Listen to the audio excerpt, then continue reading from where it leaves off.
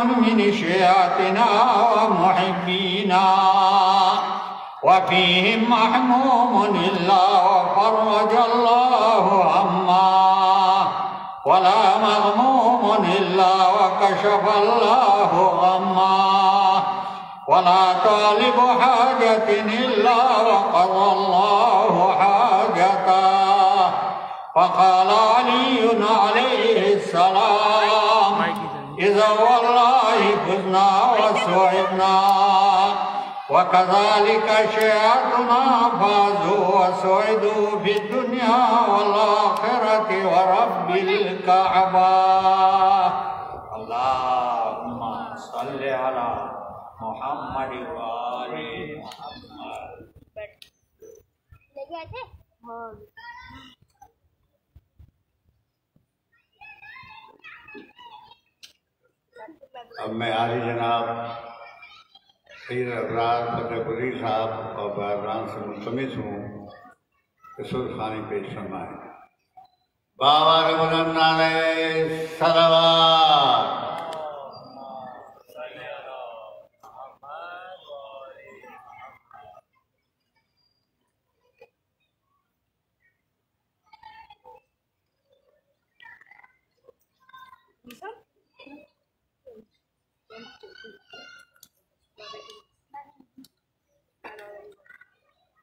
एक मिनट सौ दो नीचे का।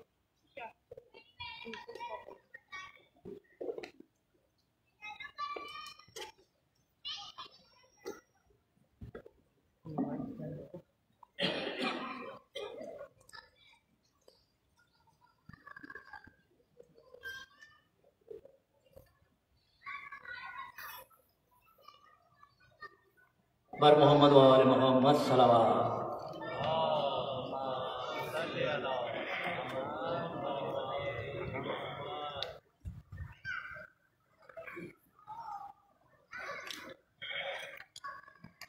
जब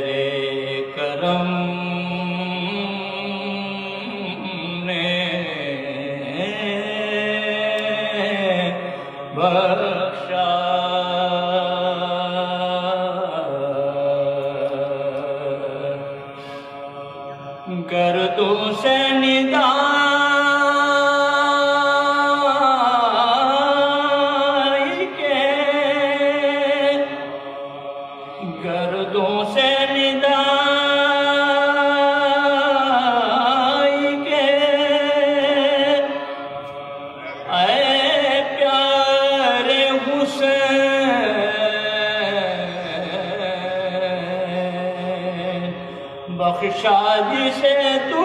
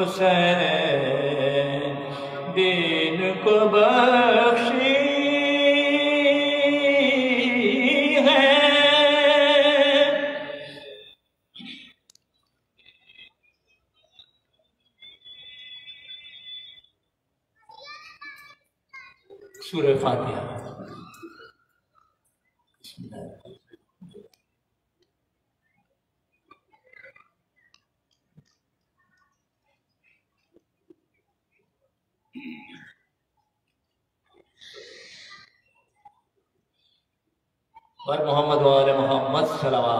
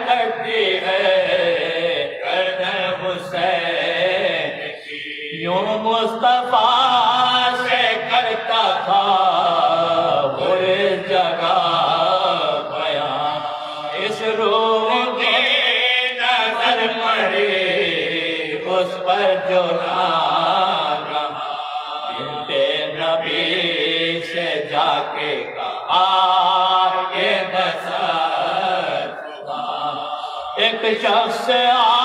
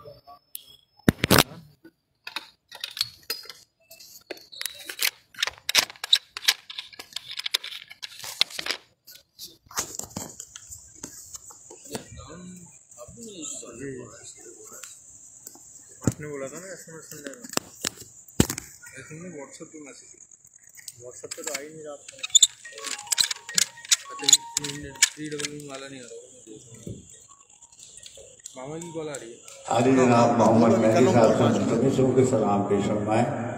जनाब मोहम्मद मेहदी साहब। बाबा ने बुलंद आ गए सलावात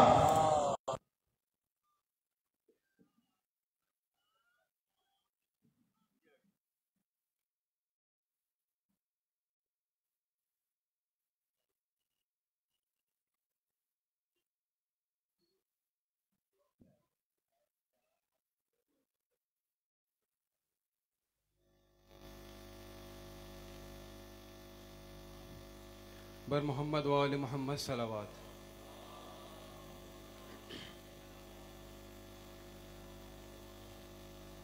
जनाब नहशर लखनवी साहब का कलाम, समातों को हदिया कर रहा हूँ। बार दिगर नारे सलावात। अल्लाह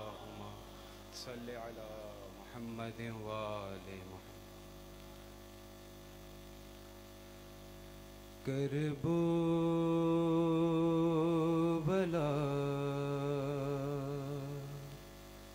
तवज्जो दरकार है। करबो बला नसीब से जानो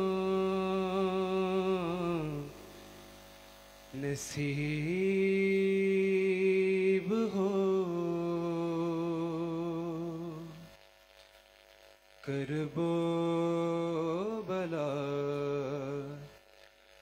नसीब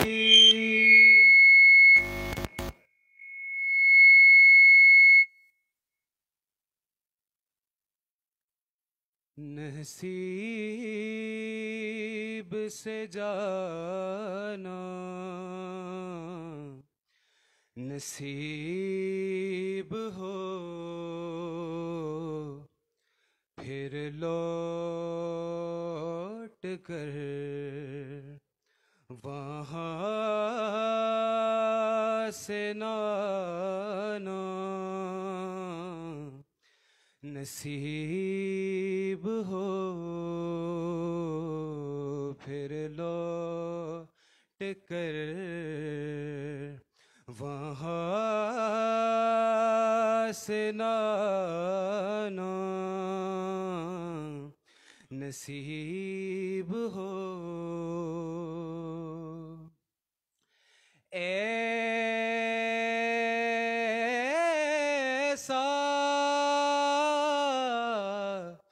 दरे हुसैन पे सजदा हुआ आखरी।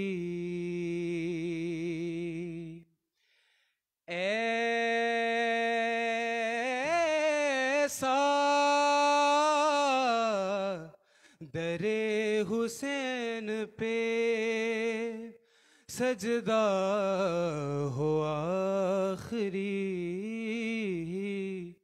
फिर मुझ को अपना सर न उठाना।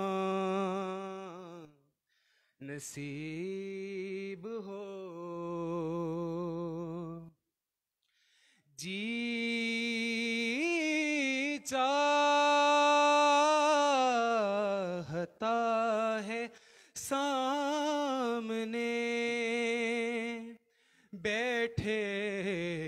पंजतन। जी चाहता है सामने बैठे हूँ पंजतन। उनकी उनकी सना उन्हीं को सुनाना। नसीब हो। आँखों को जब भी आश्क बहाना नसीब हो। आहले नबी के गम का बहाना नसीब हो। आहले नबी के गम का बहाना नसीब हो। और जैसा मिला नसीब से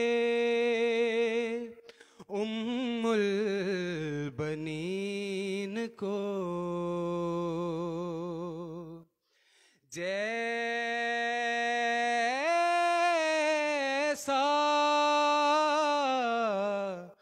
मिला नसीब से उम्मुल बनीन को अब क्या किसी को ऐसा घराना नसीब हो। शुक्रिया हुजूर। अब क्या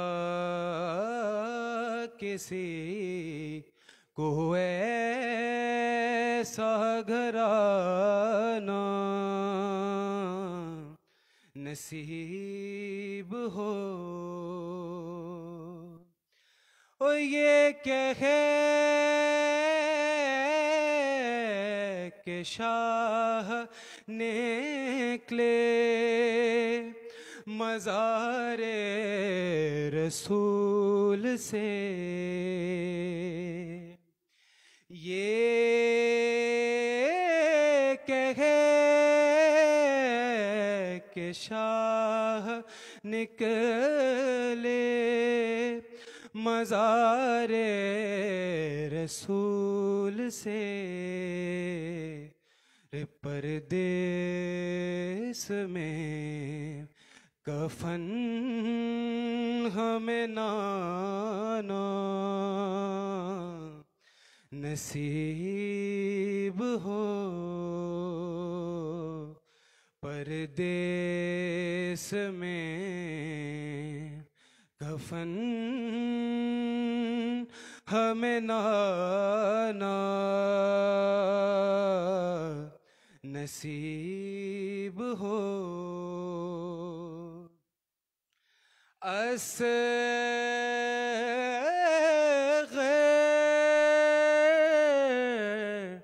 है मेरे हाथ बंधे रबा। अस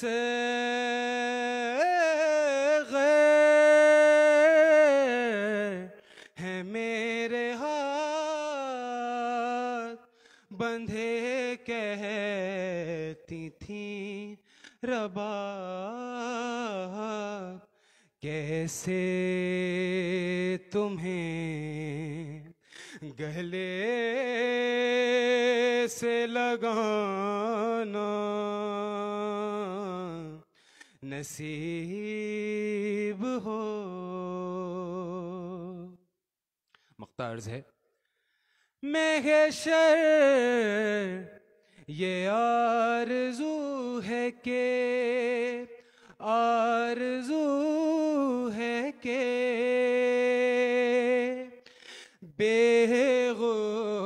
बेगुस्लो बेकफन। करबो बला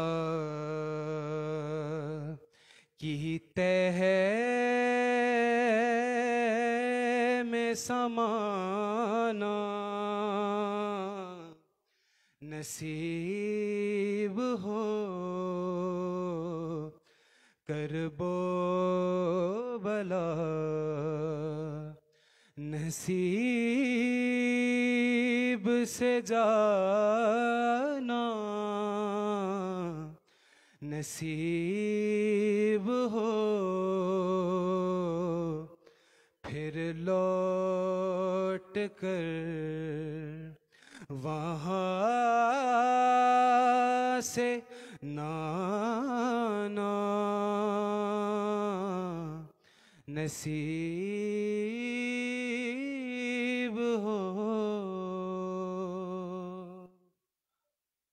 बर मोहम्मद वाले मोहम्मद सलावात।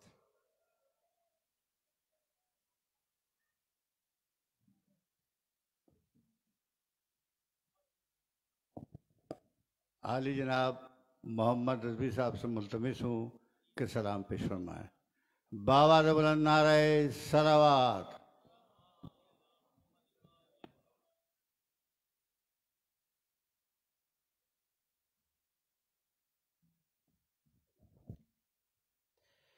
बरज़मत ख़ानदान ज़हरा बुलंदर सलावाद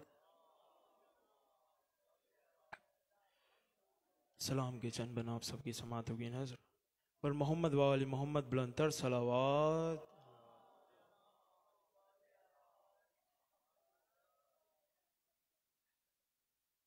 कई बला से जो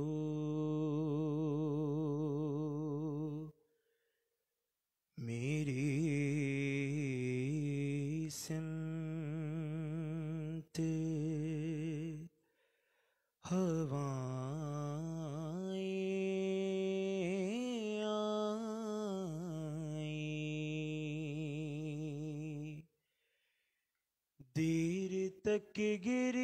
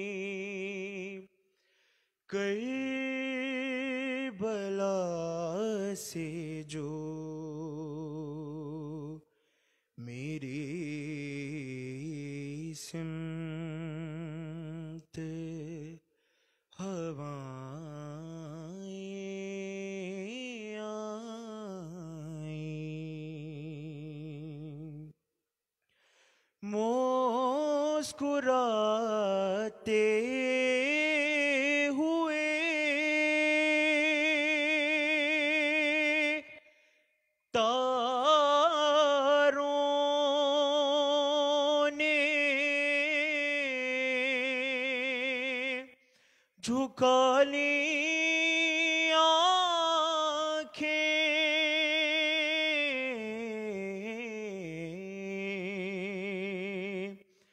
याद जब भी अली असगर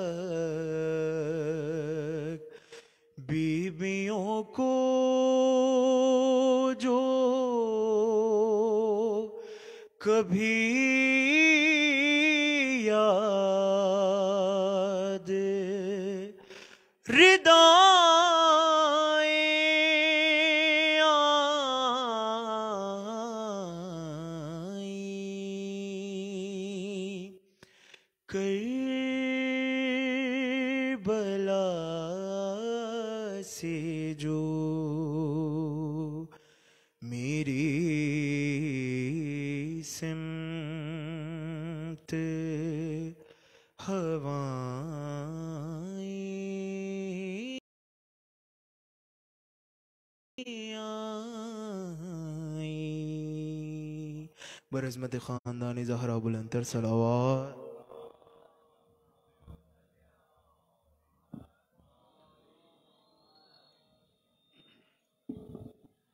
जनाब अली मेहंदी साहब से मुलतमिस कि सलाम पेश फरमाएँ बाबा बुलंद नारे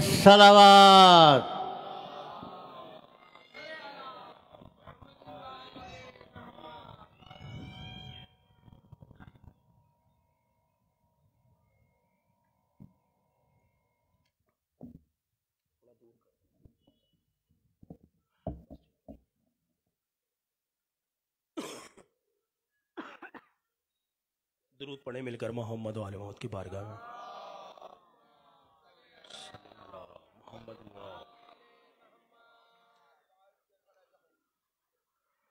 एक और बेदार सलवात पढ़े मिलकर मोहम्मद वाले मौत की बारगाह में।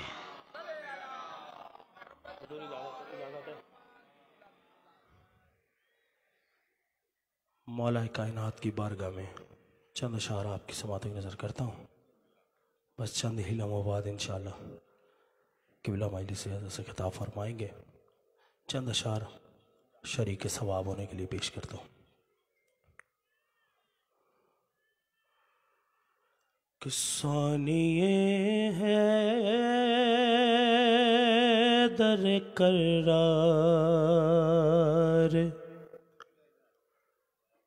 कहाँ से लाऊं? जाकर समात फरमाएँगे। थोड़ा सी तवज्जोहात का तालिब हूँ। देखिए। दुरूद पढ़े मिलकर मोहम्मद वाले मौत के बारगाह में।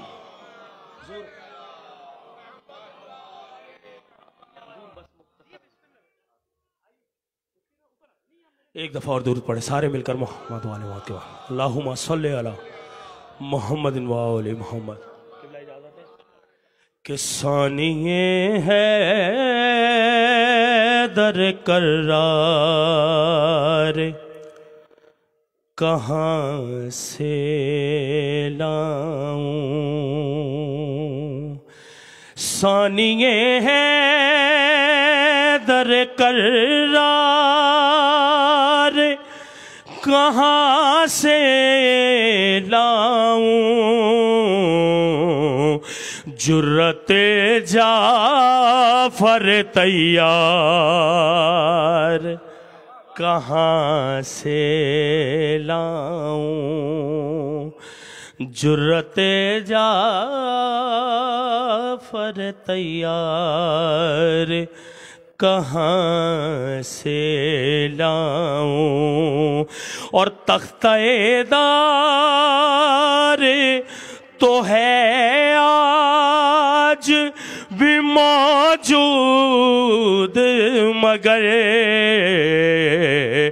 जज्बे मी समेत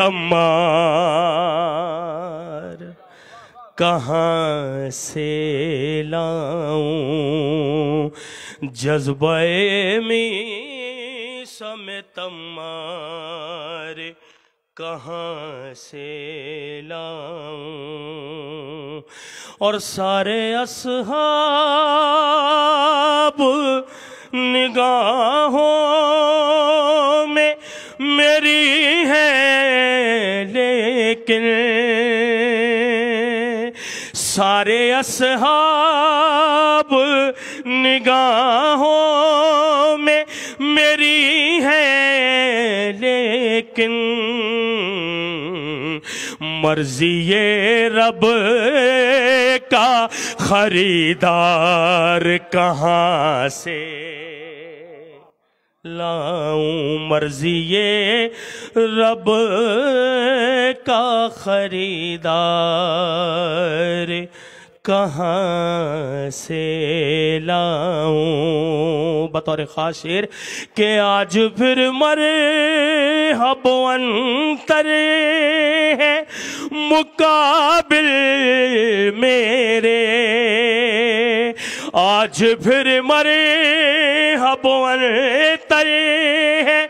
मुकाबिल मेरे। अरे या अली आप की तलवार कहाँ से? लाऊं या अली आप की तलवार कहाँ से लाऊं? और जो फरज तक ने लिखे ने लिखे या से ऐसे मैं के अशार कहाँ से लाऊं? ऐसे मैं के अशार कहाँ से लाऊं? बर मोहम्मद वाले मोहम्मद सलावात.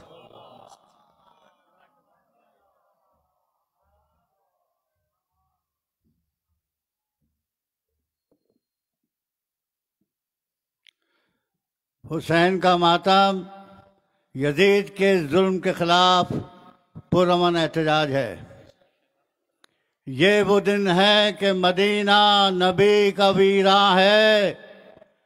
ये वो दिन है कि मदीना नबी कबीरा है। सफ़र में शाह है, सुगरा वतन में गिरिया है। बतूल निकली हैं मरकज खाक उड़ाने को। हुसैन जाते हैं उम्मत के बख्शवाने को।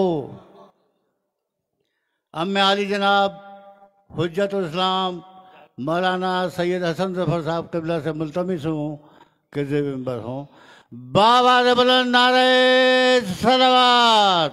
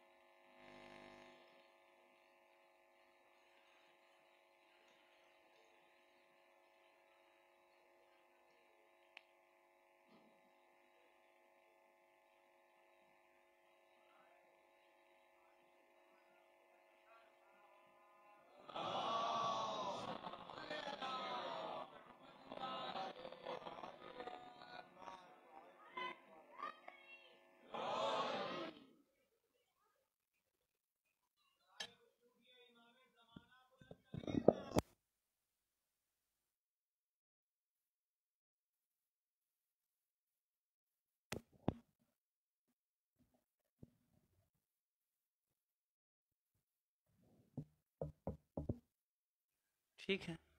आवाज़ आ रही है?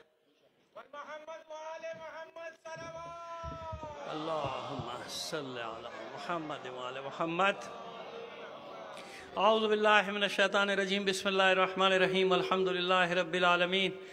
अस्सलातु वस्सलामु अला अशरफिल अंबिया वल मुरसलीन। सय्यदना व नबीना अबिल कासिम मुहम्मद।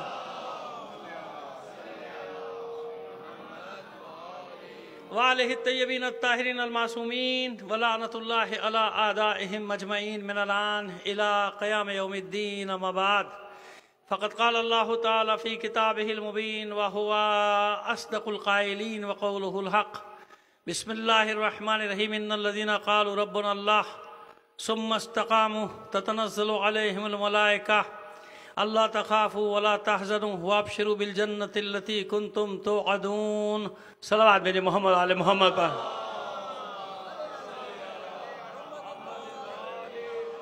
अजान मोहतरम, रोज़ आना की तरह रोज़ाना की तरह एक मैसेज जो आपको हमेशा देना है, अल्हम्दुलिल्लाह, खुदा का शुक्र है कि आप तमाम एस ओ पीस की पाबंदी कर रहे हैं, तमाम मोमिन और जहाँ जहाँ भी मैं जा रहा हूँ, और दूसरे जहाँ भी अहबाब पढ़ रहे हैं पहला पैगाम यही देते हैं, तकरीबन सभी लोग।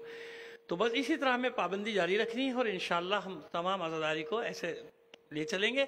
और इधर उधर की अफवाहों पे ना जाइएगा। वो अक्सर सोशल मीडिया पर है कि ये बंद कर दिया गया, वो बंद कर, कुछ ना बंद किया गया है, ना कोई ऐसी बात है, कुछ नहीं है। खाम खा के ड्रामेबाजी की जाती है। मैंने अर्ज़ कर दिया कि सोशल मीडिया का ये शैतानी खेल जारी है। सुबह कुछ खबर छोड़ देंगे और पूरी कौम को टेंशन देंगे दोपहर में एक और नई खबर छोड़ देंगे, फिर रात को खबर छोड़ देंगे, ये हो गया, वो हो गया, ये रोक दिया गया, वो रोक दिया गया। भाई अल्लाह के बंदो, साल गुजशत आपने आज़ादारी की कि नहीं की? अब भी कर रहे हैं। तय हो गई बात। कोई नहीं रोक रहा, ना कोई मना कर रहा है। खा बखा की अफवाहें फैलाना। अगर कोई ये कह रहा है, मैं कह रहा हूँ, मैं खुद कह रहा हूँ कि मास्क लगा के बैठो तो क्या ये पाबंदी है? आप बताइए। अगर कोई ये कह रहा है कि सैनिटाइजर, सैनिटाइज करते रहे, हाथों को तो क्या ये पाबंदी है? अगर कोई ये कह रहा है कि भाई थोड़ा सा फासला देके बैठो तो क्या ये पाबंदी है? नहीं, ऐसा नहीं होता। हालात को देखना पड़ता है भाई। कभी ऐसी सूरत हाल है, कभी वैसी सूरत है। खुदा का शुक्र है, आजादारी कर रहे हैं, करते रहेंगे, खत्म हो गई बात। हो रही है। एक दूसरे के साथ ताउन करते रहिए इस सिलसिले में। जैसे जब मैं कहता हूँ ना कि इंतजामिया के साथ ताउन करो तो वो ताउन का मतलब ये नहीं होता कि इंतजामिया के हो जाओ। नहीं, हमारा मतलब ये होता है कि अब जैसे इंतज़ाम के सिलसिले में रेंजर्स के सिपाही खड़े हैं, पुलिस के सिपाही खड़े हैं, हमारे स्काउट्स के बच्चे खड़े हैं भाई। हमारे इंतजामिया के लोग खड़े हैं। ट्रैफ़िक पुलिस के सिपाही खड़े किस लिए खड़े हैं? नजो जब्त कायम करने के लिए खड़े ना? आपके लिए है ना? ज़्यादा इन मामला में, इंतजामी मामला में जब ये कहते हैं, ये हमारी मुरादी होती है कि इंतजामी मामला में इनके साथ ताउन कीजिए। ताकि आजादारी अच्छे से, अच्छे माहौल में और अच्छे से, अच्छे अंदाज में इनशाला आगे बढ़ेगी। खासतौर पर आपके स्काउट्स के बच्चे आधे से ज़्यादा काम संभालते हैं, मालूम है आपको? जुलूसों में। खुद इंतजामिया आपसे कहती है, अगर आपके स्काउट्स नहीं होते तो हम कुछ भी नहीं कर सकते थे। जो हमारी स्काउट्स में परवरदिगार इनको सलामत रखे। स्काउट्स को भी, हमारी गर्ल्स गाइड को भी, मौला, इन सबको सलामत रखे। ये जो अपनी जान हथेली पे रख के भाई खड़े हैं, और मुझे बड़ा अफसोस होता है जब मैं देखता हूँ कोई आदमी आके खाम खामे बदतमीजी कर रहा है स्काउट अरे भाई, वो भी एक इज्जतदार घराने का बच्चा आप क्या समझ रहे हैं उसको? वो आपकी जान की हिफाजत की खातिर खड़ा है, आप उसके आके बदतमीजी कर रहे हैं। आपका ये राइट नहीं बनता, आपका ये हक नहीं बनता कि उस किसी बच्चे के साथ या बच्ची के साथ आप बदतमीजी करें जो अपनी जान हथेली पर रख के आपकी खातिर वहाँ खड़ा है। आपके तब उसकी खातिर खड़े तो मुझे उम्मीद है हमेशा की तरह अपने स्काउट्स के साथ भी आप इसी ताउन जारी रखेंगे। बस तमाम मोमिन की सेहत सलामती के लिए बुलंद आवाज़ से एक सलवार इनायत फरमा दीजिए, मोहम्मद आल मोहम्मद पर। और और देखिए, ऐसा नहीं होता, दुनिया कभी खाली नहीं होती ऐसे लोगों से कि जो पेवंद बनते हैं जोड़ बन जाते हैं एक दूसरे को करीब लाने के सिलसिले में। एक ऐसी हस्ती हमारे दरमियान में मौजूद है। मैं जब ऐसी हस्ती कह रहा हूँ तो आप यकीन जानिए कि वो ऐसी हस्ती है, क्योंकि मेरा मिजाज ही नहीं है कि मैं खाम खा में किसी को अलकाबात लगा दूँ या ये कर दूँ कर दूँ नहीं। मुफ्ती फजल हमदर्द साहब जो हमारे दरमियान है, ये बहुत बड़ी इलमी शख्सियत भी हैं। और जब सोशल मीडिया पर आप सर्च करेंगे तो आपको अंदाज़ा होगा कि कितने मैदानों में इनकी रिसर्च है। और अभी हाल ही में जो वाक़ हुआ हिंदू बरदरी के मंदिर पर जो हमला वगैरह हुआ, उसमें इनका आवाज़ पूरी दुनिया में गई है। और ये मुसलसल वहदत की खातिर, वहदत की खातिर, जोड़ने की खातिर, दिलों को जोड़ने में लगे हुए हैं। और सबूत यह है कि आज हमारे दरमियान में मौजूद हैं। मैं आपसे दरख्वास्त करता हूँ कि दुआ कीजिए कि जिस मकतब में भी ऐसे उलमा मौजूद हैं, जहाँ भी मौजूद हैं, परवरदिगार, उन सबको अपनी इफ्जो अमान में रखें। भाई, आज के दौर में यह भी बड़ा मसला है। मैं उसके प्रोग्राम में चला जाऊँ तो मेरे लोग मुझे बुरा भला कह रहे हैं। वो मेरे प्रोग्राम में है तो उसके लोग उसके पीछे पड़ जाते हैं कि नहीं है? तो ये बड़ी बहादुरी और दिलेरी की बात होती है कि इंसान हक की खातिर एक दूसरे के प्रोग्रामों में जाते हैं, क्योंकि हक क्या है? हक यह है कि एक दूसरे से मोहब्बत करो, एक दूसरे से नफरत ना करो। है ना? मज़हब अलग हो, दीन अलग हो फिर अलग हो, कोई फ़र्क नहीं पड़ता। इंसान की हैसियत से, मुसलमान की हैसियत से कलम के ने हम सबको जोड़ रखा। लिहाजा मैं उनका शुक्रिया भी अदा करता हूँ, अपनी जानी से, अपनी सारी मिल्लत की जानी से उनका शुक्रिया अदा करता हूँ। कि इस पुराशोभ दौर में मुसलसल एक मिशन ले चल रहे हैं ताकि लोगों को आपस में जोड़ा जाए। ऐसे तमाम उलमा की सेहत और सलामती के लिए बुलंद आवाज़ से एक सलवात इनायत फरमा दीजिए मोहम्मद आल मोहम्मद पर। जजाकल्ला और ये आप एक ना समझिएगा, ये आप एक ना समझिएगा इंशाल्लाह। ज़िंदगी रही भी आप जारी रहेंगी, मस्जिद बजाइश तो आप देखेंगे, माशाल्लाह इस शहर में बहुत ऐसे लोग हैं मोहब्बत करने वाले कि जो बस इंतज़ार कर रहे होते हैं कि आप हमें बुलाइए तो सही, हम आएँगे, मजालिस में भी आएँगे, आपके जुलूसों में भी आएँगे। और हम सबको ऐसा ही रवैया रखना चाहिए। अली के शियो, हुसैन का दरवाज़ा सबके लिए खुला है। मैं हमेशा एक बात कहता हूँ, माफ़ कर देना मुझे, लेकिन बात हकीकत है, मस्जिद पे तो झगड़ा हो जाता है। मेरी है कि तेरी है? वो मेरे साथ भी हुआ भाई।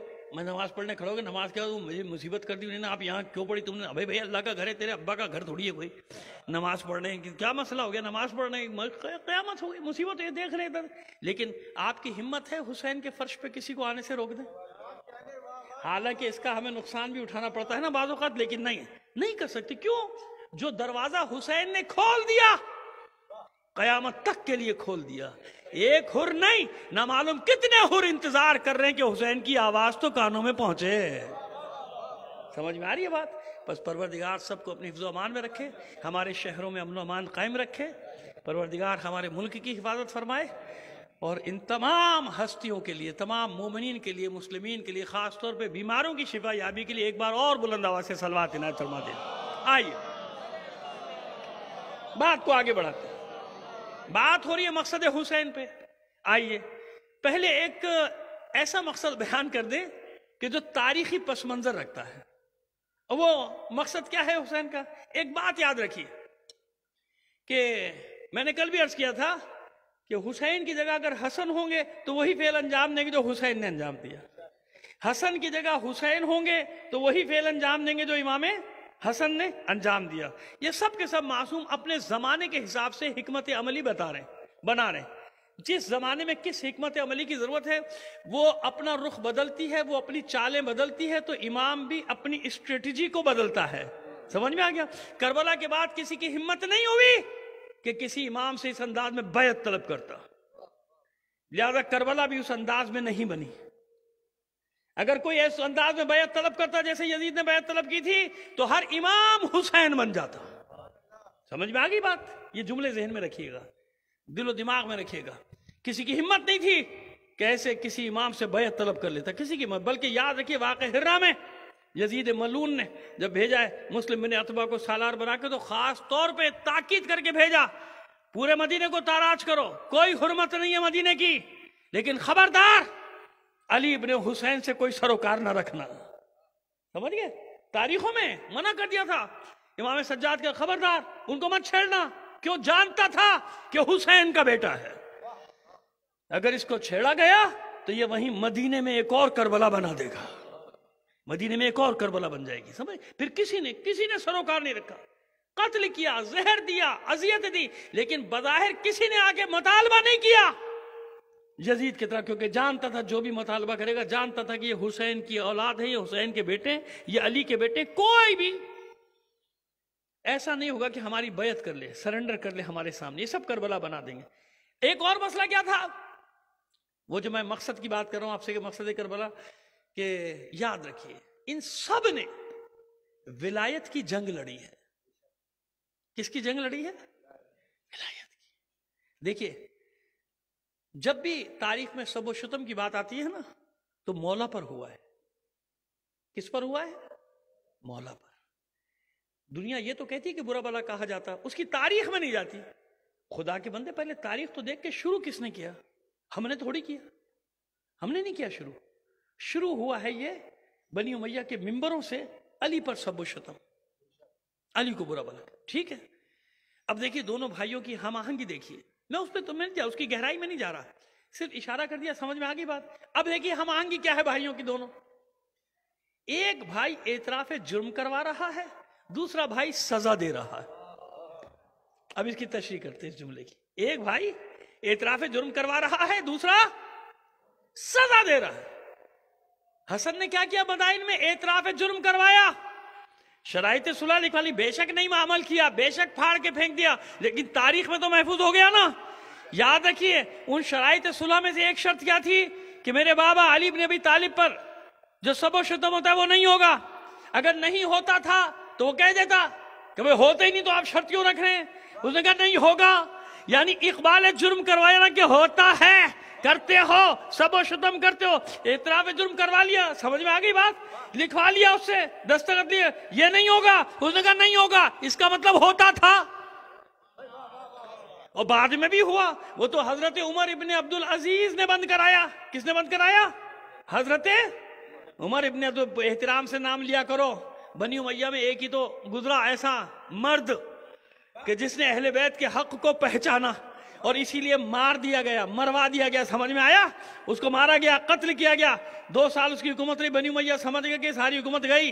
अगर ये इसी तरह रहा, क्योंकि उसने सबो शुतम भी बंद कराया, फिदक भी वापस दिया, किस वजह से? क्योंकि बचपन से अपने बाप से सुना था, किसका पोता है, जानते हो मरवान का पोता है ये? अब्दुल अज़ीज़ इब्ने मरवान का बेटा है। उमर इब्ने अब्दुल अज़ीज़ इब्ने मरवान। लेकिन हमने यही तो देखा, हमने तो यह भी नहीं देखा कि यजीद का बेटा, हमने तो यह देखा कि अहले बैत का चाहने वाला है तो चाहे यजीद का बेटा हो। हमारा है। हमसे ज़्यादा कुशादा दिल है कोई? तो वसीउल कल्ब है कि यजीद का बेटा भी अगर अहले बैत का चाहने वाला है तो हमने उसे सीने से लगाया। इसी तरह मरवान का पोता। लेकिन कैसा पोता? खुद कहता है कि जब मेरा बाप खुतबे, जुमे के खुतबे के दौरान सबोशतम करता था अली पर तो उसकी जबान में लुकनात आती थी, अटकता था। तो मैंने घर में एक दिन पूछा, ये क्या होता है?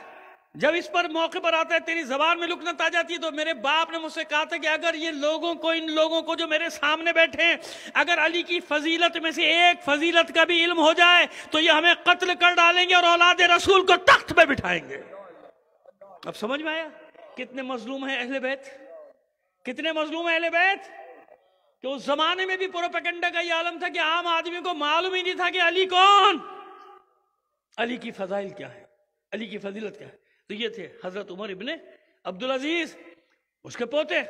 लेकिन ये सारी चीज़ें जहन में थी कि हक किसका है? हक किसका है? हक किसका है? सब एतराफ जुर्म करवाया, लिखवा लिया, दस्तखत ले लिए। कि तुम सब शतम करते हो। फिर हुआ, उमर बिन अज़ीज़ ने दो साल के लिए बंद कराया, फिर जब दूसरे आए, हज शाम वगैरह, फिर शुरू हो गया, जब तक बनी उमैया रहे। होता रहा, लेकिन लिखवा तो लिया, इकबाल जुर्म, बस। एक भाई ने एतराफ जुर्म करवाया। जो मैंने कल कहा था, उसका खुलासा इस जुमले में दे रहा हूँ आपको। दूसरे भाई ने करबला में सजा सुनाई। क्या सजा सुनाई? सुनो वो सजा जो हुसैन ने दी है, यजीदियत को। जो सजा दी, वो सजा तो सुन लो। क्या सजा सुनाई? मेरे बाबा पे सबो शतम करते हो? मेंबरों से?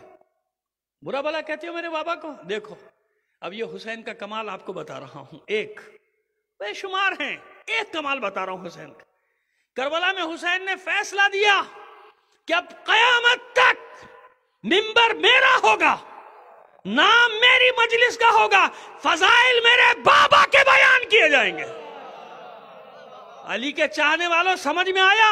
इंसाफ से बताओ, अली के फजाइल सुनते कहाँ हो? कहाँ सुनते हो? सबसे ज़्यादा तीन सौ पैंसठ दिन में मजलिस हुसैन मजलिस हुसैन मजलिस हुसैन। करबला के मसाइब तो आखिरी दस मिनट होते हैं, पहले पचास मिनट तो अली अली होता रहता है या नहीं? या अली? बस इस तरह बेदार बैठेंगे तो मुझे भी पढ़ने का मज़ा आएगा।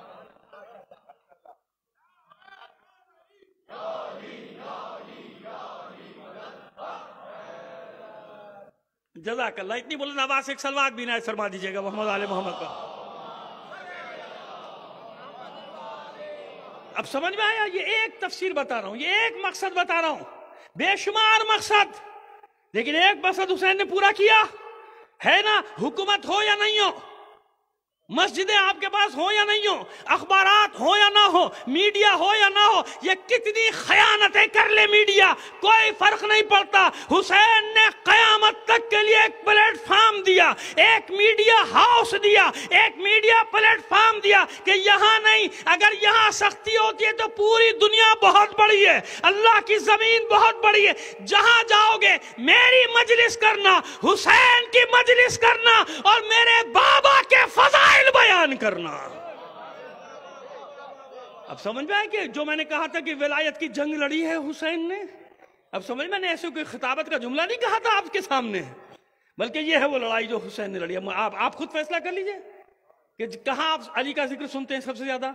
मौलाए कायनात से तो दो तारीखें है ना, एक तेरह रजब, उन्नीस, बीस, इक्कीस रमज़ान। सारा साल मजलिस किसकी होती है? मजलिस हुसैन मजलिस हुसैन। कोई दुनिया से चला गया मजलिस हुसैन, है? हमारा कोई रुखसत हो गया सोयम, मजलिस हुसैन चहलुम मजलिस हुसैन, बरसी मजलिस हुसैन, शहीद की मजलिस हुसैन।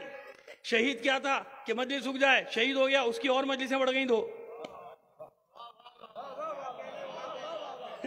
ये हुसैन का एक एजाज नहीं है, करबला का एजाज नहीं है, जिस चीज़ को रोक रहे हैं, अपने हाथों से उसे बढ़ा रहे हैं।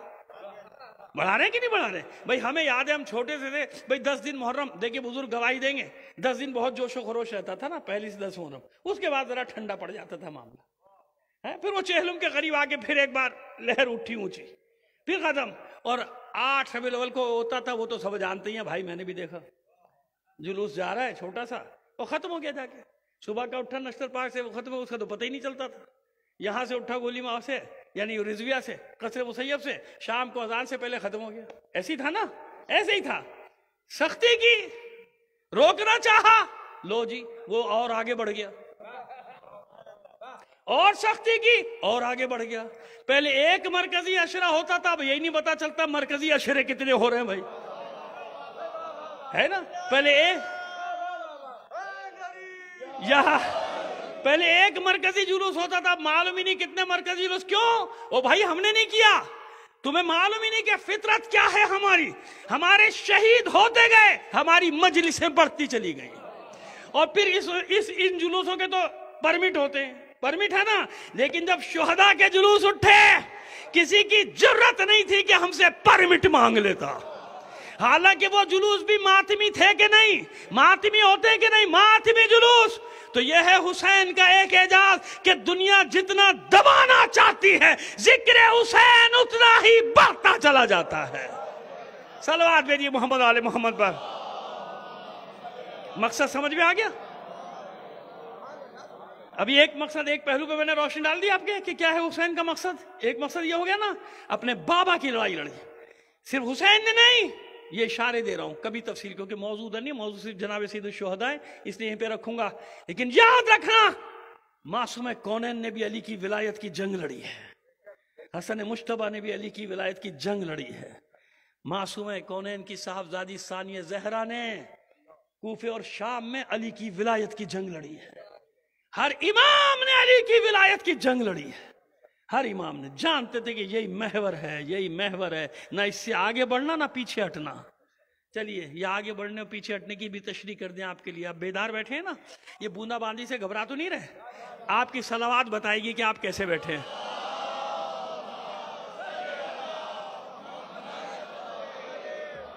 हाँ अभी आराम से बैठे रहिए, जब पानी सर से ऊँचा गुजर जाएगा। फिर सोचेंगे, है ना? लेकिन ज़िक्र तो फिर भी होगा। इनशाला इतमान है कि मैं बैठा हूँ ना, बस ज़िक्र होगा। परवाह ना कीजिएगा इधर उधर पहलू वहलू ना बदलिएगा भाई। थोड़ा सा गर्मी दूर हो जाएगी, हफ्स दूर हो जाएगा। बारिश वारिश की परवाह ना करें पानी सर से गुजरेगा तो देखेंगे। और कराची है, वैसे ही पानी सर से गुजर जाता है। हाँ माशाल्लाह, यहाँ तो थोड़ी सी बारिश हुई तो गटर के मुँह वैसे खुल जाते हैं, उनको उन... उनको मौका मिल जाता है बाहर निकलने का। सलावाद भेजिए मोहम्मद आल मोहम्मद पर। बड़े अच्छे। नहीं, हमारे माशाल्लाह हुक्मरान बहुत अच्छे हैं। दुनिया में किसी को ऐसे हुक्मरान नहीं मिले होंगे। उन्हें सारा इंतज़ाम किया हुआ है कि बारिश ना भी हो हम तुम्हारे गटर उबाल देंगे। पानी तुम्हें मिलेगा। गंदा मिले, मगर पानी तो मिलेगा ना। दुआ कीजिए, परवरदिगार, अमेरिका को ऐसे हुक्मरान दे दे। इसराइल को दे दे। भारत को दे दे। कितना मज़ा आएगा। है ना, अच्छे, में बुराई तो कर नहीं रहा। इतने अच्छे हुक्मरान। इतने अच्छे तो ये हमारे यहाँ क्यों रहे वहाँ भी जाए, ताकि छह महीने में उनका भी धड़न तख्ता हो जाए। उनको भी मालूम हो कि हुक्मरान कहते किसे हैं। सलवात भेजिए मोहम्मद, आले मोहम्मद पर। चलिए, अब हमारा क्या वास्ता इन बातों से? कैसी हुक्मरानी, कैसे हुक्मरान? छोड़िए, डालिए। ना मालूम कौन किस किस का हामी बैठा होगा, लेकिन भाई, बात सुनो, जब दिल जलेगा तो बात तो करेंगे। ऐसा तो नहीं हो सकता कि हमारा दिल जले, हम बोले भी नहीं, क्यों नहीं बोलेंगे? तुम भी तो सुबह से शाम तक बकवासें किया करते हो चैनल्स पे बैठे हुए। झूठ झूठ झूठ झूठ। तो थोड़ा सा सच भी सुन लिया करो, कड़वा तो ज़रूर होता है।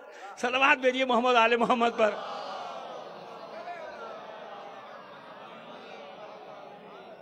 तो बस जो मैं बात कर रहा था कि जो जिसकी तशरी थोड़ी सी करना चाह रहा हूँ, एक सलवात और भेज दीजिए मोहम्मद आले मोहम्मद पर। हर एक ने किसकी जंग लड़ी है? अली की? वलायत की वो लफ्ज भूल गया, लेकिन चलिए अपने मजूम में आगे चलेंगे, बीच में याद आ जाएगा। उस तरफ़ पहुँच जाएँगे। अली की विलायत की जंग हो रही है, अली की विलायत। क्यों? सारा झगड़ा इसी का है ना? सारा मसला यही है। जितना भी मसला है वो सारा ही। लिहाजा हर इमाम ऐलान कर रहा है जंग लड़ रहा है, लेकिन दिफा कर रहा है गदीर का। किसका दिफा कर रहा है? ये गदीर बड़ी चोट लगाती है। इसीलिए मासूमिन ने कहा कि गदीर को ज़िंदा रखना। गदीर को बाकी रखना गदीर को मत भूलना, सबसे बड़ी ईद यही, सबसे बड़ी ईद यही गदीर है। तो हुसैन चले हैं मदीने से और पहुँचे हैं करबला। यहाँ एक मसला हल कर दें। मैंने अर्ज़ किया कि हुसैन की जबान से मकसद हुसैन बताना है आपको। ऐसे ही है ना? मजमून याद है? उन्वान तो नहीं बोले अब आइए। जनाब हनफिया के बारे में, जनाब मोहम्मद हनफिया के बारे में बड़े इश्तबाहत हैं हमारे यहाँ। बड़े बड़े बुकरात पैदा हो गए कभी जनाब मोहम्मद हनफिया पे इतराज शुरू कर देंगे, कभी जनाब अमीर मुख्तार पे इतराज शुरू कर देंगे, पता नहीं क्या पढ़ा है, कहाँ से पढ़ के आए, पढ़े रहे हैं, लग रहा ऐसा है। लगता ऐसा है, पढ़े रहे हैं, अगर पढ़ रहे होते तो कभी ये इतराजात न करते। सुनो, मोहम्मद हनफिया है कौन? अली का ये लाल, अली का बेटा। अल्लाह के बंदो, मदीने से जब हुसैन जा रहे हैं, वसीयत किसे की है? अगर मोहम्मद हनफिया में माज अल्लाह माज अल्लाह कोई खोट है कोई कमी है तो हुसैन अपना नायब क्यों बना रहा है? है पूरा पूरा खत मौजूद है ना, खत। मैं तो इशारा कर रहा हूँ, नायब बनाया और ये कह के बनाया। क्या मोहम्मद हनफिया, बेहतरी इसी में है कि आप यहाँ रहें और मेरी आँख बन के रहें। कसम खा के कह रहा हूँ कि यही जुमले हैं हुसैन के, कि मेरे भाई मोहम्मद हनफिया, यही बेहतर है कि आप मदीने में रहें और मेरी आँख बन के रहें, ताकि यहाँ जो कुछ भी हो रहा है, वो मेरी आँखों से देखते रहें। और मुझे खबर मिलती रहे तो जो इतना बड़ा नाइब बना के जा रहा है, क्यों बना के जा रहे हैं? अब बताता हूँ, वजह क्या है? क्या मकसद है हुसैन का खत लिख दिया? वसीयत की मेरे, अपने भाई मोहम्मद हनफे के नाम। अल्लाह की हमद। और मोहम्मद की सना के बाद फरमाते हैं कि तुम जानते हो कि मेरी नीयत रुए ज़मीन पे फसाद बर्पा करने की नहीं है मेरे भाई। मैं इकतदार के लिए नहीं जा रहा। मैं जाति अना की खातिर नहीं जा रहा। मैं ख्वाहिश नफसानी की तकमील के नहीं जा रहा। किस लिए जा रहा हूँ? अखरुजो ले तलब इसलाह उम्मत जद्दी। ए मेरे भाई मोहम्मद हनफिया, मैं अपने नाना की उम्मत की इसलाह के लिए निकल रहा हूँ। किसके लिए निकल रहा हूँ? अपने नाना की उम्मत की इसलाह के लिए निकल रहा हूँ। मैं इसलिए निकल रहा हूँ, और किसी गरज से नहीं निकल रहा। मुझे इकतदार से भी कोई गरज नहीं। क्यों? लोग भूल गए थे। लोगों को मालूम ही नहीं था कि मकसद बेसत का है क्या। रिसालत का मकसद क्या है? किस लिए कुर्बानियाँ हुई थी सब? भूल गए थे। इसलिए निकल रहा हूँ। पूरी दुआ नामुरा बिल मारूफ अनिल मुनकर। ए, मेरे भाई, मैं इसलिए निकल हूँ, निकल रहा हूँ कि अमर बिल मारूफ करूँ और नहीं अनिल मुनकर। मकसद समझ में आया? हुसैन किस लिए निकल रहे अमर बिल मारूफ, नहीं अनिल मुनकर। आज अगर कोई ऐसी बात कर दो ओ हो हो, बेचैनी हो गई। ये क्या लेके बैठ गए मजलिस में? अमर बिल मारूफ लेके बैठ गए। खुदा के बंदो, रिवायात हैं कि जब तक ये चंद लोग बाकी हैं ना, अमर बिल मारूफ करने वाले, नहीं अनिल मुनकर करने वाले, इनके वजूद को गनीमत जानो। इनकी वजह से कौमों पर अजाब नहीं आते। जब तक किसी ग्रोह में एक भी ऐसा फर्द मौजूद है, जो बुराइयों से रोक रहा है, चाहे रुके या ना रुके, और अच्छाइयों का हुक्म दे रहा है तो उसके वजूद को गनीमत जानो। क्यों? किसी भी कौम पर जब अल्लाह ने अजाब भेजा तो सबसे पहले उनके नेक अफराद को जो अमर बिल मारूफ करते थे नहीं अनिल मुनकर करते थे, उन्हें बाहर निकलने का हुक्म दे दिया। निकल जाइए हूद इन पाँच अफराद को लेकर बाहर चले जाइए। साले ये सात अफराद को लेकर बाहर चले जाइए। लूत, ये अपने छह अफराद को लेकर बाहर चले जाइए क्योंकि अब मैं इस कौम पे अजाब नाजिल कर रहा हूँ। इनको लेके निकल जाइए। समझ में आ रही है बात? उरी दो नाम बिल मारूफ अनहान मुनकर। मेरा अल्लाह जानता है कि मैं किस लिए निकल रहा हूँ। मेरा अल्लाह जानता है कि अमर बिल मारूफ करने और नहीं अनिल मुनकर करने करो। मेरे भाई, आप यहाँ ठहरिए। आपने मुझे बड़े अच्छे मशवरे दिए। जनाब मोहम्मद हनफिया ने, जानते क्या मशवरे दिए? थे जब आके इरादे का इजहार किया, हुसैन ने कहा, मुझे जाना है तो आप आए और बैत का मालूम हुआ। तो जनाब मोहम्मद हनफिया ने आके कहा था, मेरे भाई मेरी आपसे गुजारिश है कि आप मक्के की तरफ़ चले जाइए। ये मशवरा किसने दिया है? मोहम्मद हनफिया ने। जानते थे कि मेरा भाई मुझे साथ नहीं लेके जाएगा, हुसैन, क्योंकि एक को छोड़ के जाना है, नाइब बना के। लोग माने या ना माने, लेकिन मासूम अपनी जगह नहीं छोड़ेगा, जब तक कि अपना नाइब का ऐलान ना कर दे कि ये मेरा नाइब है, इसकी इतात मेरी इतात होगी। नाइब बना के जाएगा। ये अजीब बात है कि जो मासूम अपनी जाहिरी हयात में नाइब बना के जा रहा है पर्दे गैबे में जाएगा तो लावारिस छोड़ देगा। इतना बता दो कि जनाब मोहम्मद हनफिया इमाम है? रसूल है? नहीं है ना? लेकिन नाइब बनाया कि नहीं? जनाब मुस्लिम ने अकील कौन है? इमाम है? नबी है? रसूल है? नहीं है ना? हुसैन ने अपना नाइब बना के भेजा कि नहीं भेजा? कैसा नाइब कि इसके हाथ में जो बैत करेगा, मेरी बैत उसने मेरे हाथ पे बैत की। ऐसा नहीं होता, ये नियाबत का सिलसिला किसी और का शुरू किया हुआ नहीं है। ये मासूमिन ने अपनी जाहिरी हयात में ही बता दिया था। तो जो मासूम अपनी जाहिरी हयात में नाइब बनाने पे इतना ज़ोर दे रहा है अल्लाह के बंदो तो जब पर्दे गैब में जाएगा, लवारिस छोड़ देगा कौम को, मिल्लत को, कि कोई नहीं है तुम्हारा पूछने वाला, जो तुम्हारी मर्ज़ी आए फुटपाथ पे बैठ के, इश्तिहाद कर लेना, खुद ही अपनी मर्ज़ी से फैसला लगा देना। ऐसा हो सकता है? सलवात भेजिए मोहम्मद, आले मोहम्मद पर। ए मोहम्मद हनफिया, मशवरा दिया है, मोहम्मद हनफिया ने मशवरा दिया है। आप मक्के चले जाइए। और अगर हालात खराब हो, वहाँ से यमन चले जाइए। अपनी जगह बदलते रहिए। यहाँ तक कि अल्लाह राहें कुशादा कर दे। और गले से लगाया इमाम हुसैन ने। इसी खत में, इसी वसीयत में फरमाते कि आपने बेहतरीन मशवरा दिया। हालाँकि हुसैन को वही करना है। लेकिन बता रहे कि मेरा भाई मेरा भाई, वो भी मेरे बाबा अली का शागिर्द है ना? और कौन है मोहम्मद हनफिया? याद रखिए, सिफीन में इमाम हसन इस्लाम की ज़रा तंग कर रही थी, गर्मी की वजह से ना तंग हो गई थी। तो अजियत महसूस कर रहे थे।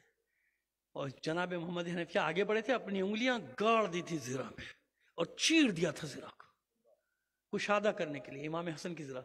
इसका नतीजा ये हुआ था कि सारी ज़िंदगी आपकी उंगलियों में राशा रहा। अब सुनिए क्यों छोड़ के गए थे? हिकमत क्या थी जनाब मोहम्मद हनफिया को क्यों छोड़ा था? यहाँ रहे जनाब मोहम्मद हनफिया।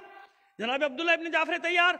जब काफिला वापस आए बसाइब नहीं पड़ रहा। बताना चाह रहा हूँ आपके रा, एक रात से पर्दा उठा रहा हूँ। आपके सामने पेश कर रहा हूँ कि हुआ क्या? जब असीर वापस आए रिहा होकर तो मोहम्मद हनफिया आए। अपने भतीजों को गले लगा के पुरसा दिया देर तक रोते रहे। और फिर तारीख कहती है कि इमाम सज्जाद और मोहम्मद हनफिया एक गोशे में चले गए। बातें हुई कुछ। आपस में बातें हुई। बातों करने के बाद जनाब मोहम्मद हनफिया बैठे हैं सवारी पे और चले गए। कहाँ चले गए किसी को नहीं मालूम। गायब हो गए। रूपोश, ज़ाहिर कब हुए? जब अमीर मुख्तार का कयाम शुरू हुआ। समझ में आया? हिकमत बताने जा रहा हूँ आपको।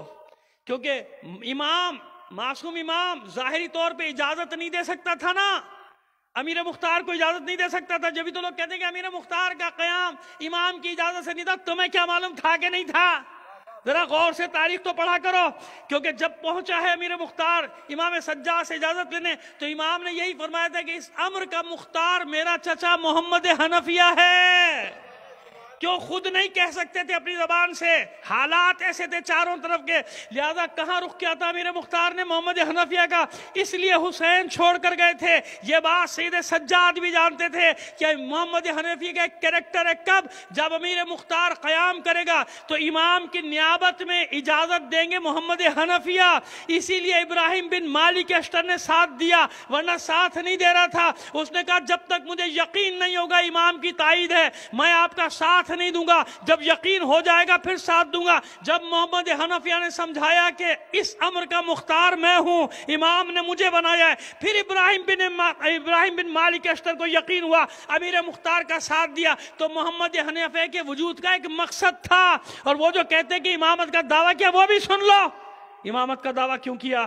क्योंकि आपका गुलाम था किसान। उसने ये शोशा छोड़ा था। ये अली का बेटा इमाम है, ये अली का बेटा इमाम है। क्या अरे इल्म फ़र्ज़ में जनाब मोहम्मद हनफे का कोई सानी नहीं था।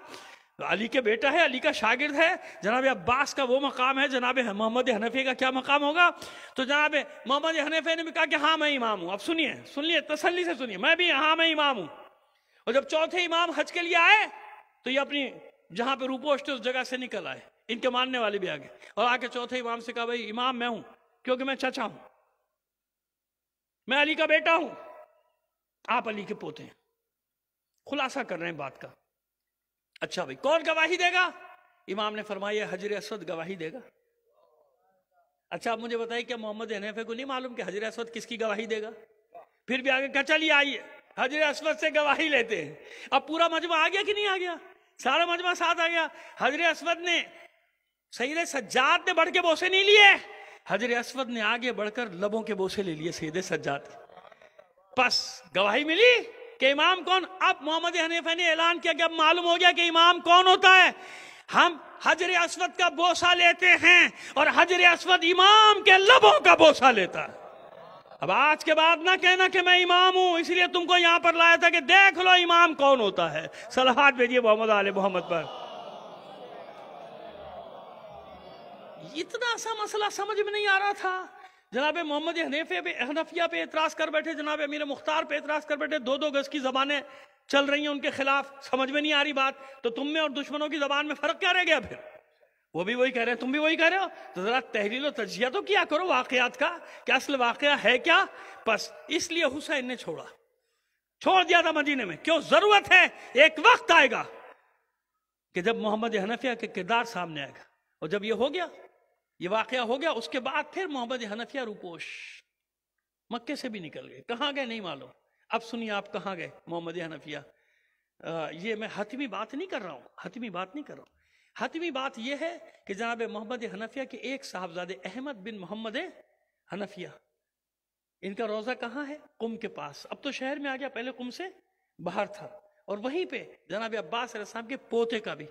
शहजादा कासिम इबन फजल या इबन अली, इबन अब्बास, क्योंकि तीन चार बेटे थे ना, जनाब अब्बास इस्लाम के, उनका रोज़ा, ये दोनों रोज़े साथ साथ यानी इसका मतलब वहाँ तक गए हैं ना मोहम्मद हनफिया? और उनके साथ और भी अहल बैत के अफराद ने हिजरत की। अब एक बात आपको बता रहा हूँ, ये ठट्टा के पास, ठट्टा से आगे कलरी झील है ना? है कलरी झील? यहाँ पे एक रोज़ा है। मैं हतमी बात नहीं कर रहा हूँ आपसे, क्योंकि हमारे यहाँ बड़े बड़े बुकरात पैदा हो जाते हैं। मैं खुद कह रहा हूँ कि भैया आखिरी बात नहीं है। लेकिन बता रहा हूँ आपको, वहाँ एक जियारत है। और हमारे भाइयों के हाथ में है। पहले मौलाइयों के हाथ में थी, फिर वो हमारे जो आगा खानी कम्युनिटी है, उसके पास वो जियारत है। जाके देख लीजिएगा। कहते हैं ना, हाथ कंगन को आरसी क्या है? ये कलरी झील से बिल्कुल ट्वेनी जब आप नूरियाबाद से जाएँगे अंदर तो वहाँ से भी रास्ता है और ठट्टे से जाएँगे, उधर से भी रास्ता है। वहाँ एक रोजा है और बहुत खूबसूरत बना दिया गया। पहले इतना खूबसूरत नहीं था, बहुत पुराना, कदीम तरी कदीम तस्वीरें भी हैं उसकी वहाँ है कल झील के पास इस जगह? और जमाने, उस जमाने में आबादी कहाँ होगी? आज नहीं है। हाँ ठट्टा आबाद था। यानी इसका मतलब ये हो कि ठट्टे से आए होंगे, यहाँ पना लिए। वल्लाह आलम भी सवाब नहीं माल लेकिन जानते हैं वहाँ किसका नाम लिखा है? कोई गया है आप में से? नहीं गया। वरना कोई हाथ उठा के बता देता कि हाँ मैं गया हूँ उस मज़ार पे। जानते हैं किसका मज़ार? क्या नाम लिखा है वहाँ? मोहम्मद इबन हनफिया। अली के बेटे? मोहम्मद हनफिया। इबन अली, इबन अबी तालिब। यहाँ की बात कर रहा हूँ। फिर आपसे कह रहा हूँ कि हतमी नहीं है, आखिरी बात नहीं है। लेकिन ये निशानियाँ बता रही है ना कि कहाँ कहाँ लोग गए, किस किस जगह लोग गए। आज का मजार नहीं बना हुआ सदियों को पुराना बना हुआ है, कब बना हुआ नहीं मालूम। उस जमाने के लोग भी जाहिल थे। जैसे जनाब महम बीबी का रोज़े पर जब मैं गया था, लोगों को बड़ा इतराज हो गया बड़े बड़े बुकरात पैदा हुए बड़े बड़े पैदा हुए इतराज करने वाले। तुम्हें मालूम नहीं क्या जहरा कहाँ कहाँ बिखर गई दुनिया में। दुनिया ने एक जगह जीने नहीं दिया उन्हें।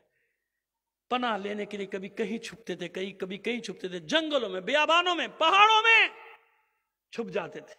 कोई उनकी तारीख लिखने वाला नहीं था, लेकिन अल्लाह आज के दौर में उन निशानियों को ज़ाहिर कर रहा है। मैं नहीं कह रहा कि वो जनाब मोहम्मद हनफिया का ही रोजा होगा, लेकिन वो नाम लिखा हुआ बता रहे कि कुछ है। कोई तो तारीख है इसकी कि जो कह रहे हैं, अली के बेटे मोहम्मद हनफिया का रोजा है। मैं नहीं कह रहा कि वो आखिरी बात है मेरी, जो मैं कह रहा हूँ। लेकिन एक चीज़ है ना ज़मीन पे मौजूद है जो वाकया है तो फिर तहकीक तो करनी पड़ेगी ना, देखना तो पड़ेगा ना कि कौन है, कब आया, यहाँ कैसे रोजा बना, जैसे मजार शरीफ। मजार शरीफ है ना पड़ोस में हमारे, जिस पर आजकल अटैक हुआ हुआ है। तो मजार शरीफ क्यों नाम है उसका? क्योंकि वहाँ अली इबन अबी तालिब का रोजा है, वो कहते हैं। लेकिन मैं आपसे कह रहा हूँ कि हज़रत अली का रोजा नहीं है। ये अली इबन अबी तालिब कौन है? इमाम हसन की औलाद में से एक है। लेकिन क्योंकि नाम है अली इबन अभी तालिब तो लोग कहते हैं अली इबन, वहाँ के लोग कहते हैं, नहीं, हज़रत अली का रोजा है। ऊँट यहाँ पे लेकर आया था। जनाजे को समझ में आ रही तो ये तारीख के मसाइल हैं। इनमें देखा जाता है, लेकिन निशानियाँ तो है ना। अहल बैत की निशानियाँ तो है ना। तो हुसैन इसलिए छोड़ के गए थे जनाब मोहम्मद हनफिया को कि मुख्तार का कयाम अपने उरूज में पहुँच नहीं सकता था, अगर एक इजाज़त देने वाले की सूरत में मोहम्मद हनफिया का वजूद ना होता। एक सलावाद भेज दीजिए, मोहम्मद आल मोहम्मद पर बस। समेटते हैं बयान को। बयान को समेटते हैं। अभी एक जगह हमसे ज़िक्र हो गया। किसका ज़िक्र हो गया? उलमा का ज़िक्र हो गया। हमने अर्ज़ कर दिया ना कि मासूमिन क्या करते हैं? इल्म को फैलाते हैं। अच्छा आज तारीख है जी कि हर साल में वो उसी हस्ती का ज़िक्र करता हूँ। उसी हस्ती का ज़िक्र करता हूँ। हमारे यहाँ आजकल फुकाहत के खिलाफ एक, फ़कीह के खिलाफ एक माजल्ला मैदान खड़ा है, कोई नई बात नहीं है। इसी बर सग़ीर में जब अखबारियत अपने उरूज पर थी तो आज से ढाई सौ साल पहले एक मर्द जरी खड़ा हुआ था। सैयद दिलदार अली नकवी और मारूफ किस नाम से हज़रत गुफरान माप। नाम सुना है? गुफरान माप। खैर, इसको छोड़ दीजिए, वो एक अलग तारीख। हज़रत गुफरान माप, जिन्होंने अखबारियत की धज्जियाँ उड़ा दी थी। पहला मर्ज है, इस सरजमीन का पहला मर्ज है। वो मर्ज है, उसके बेटे मर्जे पाँच, फिर उनके बेटे। इतना बड़ा हौजा बनाया, इतना बड़ा हौजा बनाया कि नजफ और कुम से ज़्यादा रौनक यहाँ थी बर सगीर में। और फतवे के लिए कहीं जाना नहीं पड़ता था। खुद कफील थे हम। हमारी मर्जयत ने हमको ऐसा संभाला था। समझ में आई बात? ये थे फ़ुकाहा। और हमारे सामने भी एक और फ़की के पोते, या पड़पोते बैठे हुए यहाँ सिप्त हैदर साहब। आखुंद करबलाई एक तारीखी नाम है। असल नाम तो उनका लंबा चौड़ा है, कुछ और है। लेकिन आखुंद करबलाई ये शागिर्द थे सुल्तानुलमा के। सुल्तानुलमा कौन? गुफराम आपके साहबजादे। हज़रत गुफराम आपके बेटे, उनके ये शागिर्द थे। आखुंद करबलाई तो इतने बड़े बड़े नाम। फ़की फ़की फ़की मासूम फ़की बना रहे फ़की के नाम से छिड़े तुम्हें। आलिम के नाम से चिड़े तुम्हें। तो फिर आओ, सुनो। हुसैन किसी शख्स के लिए कह क्या रहा है? मिन हुसैन इबन अली इबन अबी तालिब। मैं मंजिल पर आ गया। मिन हुसैन इबन अली, इबन अबी तालिब, इलल इलर रजुल फकी इलर रजुल फकी हुसैन इबन अली की जानिब से रजुल फ़कीह के नाम, मर्द फ़कीह। अब हुसैन जिसको फ़कीह लिखेगा, वो कैसा होगा फ़कीह? हम तो एक दूसरे के एहतराम में अलकाबात लगा सकते हैं, क्या मासूम लगाएगा? नहीं, मासूम वही लकब लेगा जिसका वो अहल होगा। ऐसे ही है ना? जिस लकब का वो अहल होगा, इमाम वही लकब लगाएगा। रजुल फ़कीह मर्द फ़कीह के नाम। मिन हुसैन इबन अली, मिन हुसैन इबन अली इबन अबी तालिब रजुल फ़कीह। रजुल फ़कीह हबीब इबन मज़ाहिर। फ़ानता तालम कराबतना मिन रसूल सल्लल्लाहु अलैहि ए हबीब, ए फ़कीह, ए मर्द फ़कीह, यानी फ़कीह कूफा। तो मासूम अपने दौर में फ़कीह बना रहा है, अपने सामने फ़कीह बना रहा है। जबकि हर आदमी के इख्तियार में है कि इमाम से जाके मसला पूछे। लेकिन नहीं, इमाम हर जगह अपने शागिर्दों को फैला दे। और हुक्म देते थे कि मदीने आने की ज़रूरत नहीं, फला जगह हमारा फला शागिर्द है उससे पूछ लिया करो मसला। शागिर्द, इमाम नहीं है, शागिर्द है, वो बताएगा तुम तो क्या मकाम है? हबीब इबन मज़ाहिर का? हबीब इबन मज़ाहिर ख़त लिखने वालों में है। हुसैन को जिन्होंने ख़त लिखे ना, कूफे से उनमें ख़त लिखा है।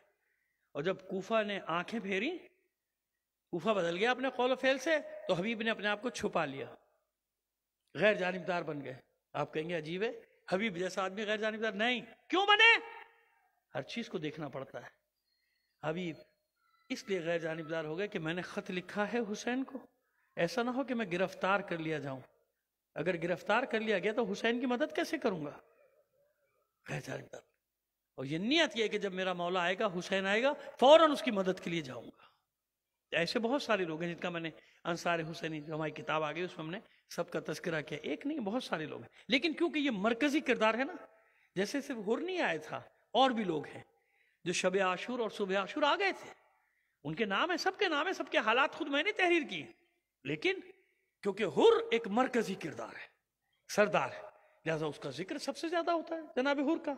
इसी तरह हबीब फकी है, और भी लोग आए, लेकिन हबीब फकी है। बस हबीब इंतज़ार कर रहा है कि कब मेरा मौला बुलाए और कब मैं अपने मौला की खिदमत में जाऊँ। इधर हुसैन कल मैं अर्ज़ कर चुका दो मुहर्रम को करबला पहुँच गए और उधर लश्कर पे लश्कर दस्तों पे दस्ते चले आ रहे हैं। और जो दस्ता आता था उसको हुक्म होता था कि खेमों के सामने से गुजरो ताकि बीवी बीबियाँ और बच्चे देखते थे कि हज़ारों का लश्कर जमा हो रहा है और आले रसूल की नुसरत के लिए कोई नहीं आ रहा। यह है वो वजह कि सानिया जहरा ने अपने भाई से कहा था, भैया, आपके भी तो बहुत सारे दोस्त हैं। आप भी तो कुछ लोगों को खत लिखिए। तो हुसैन ने खत लिखे। ये ना समझेगा कि सारे खत जाया चले गए। नहीं, बसरे से भी लोग आए थे।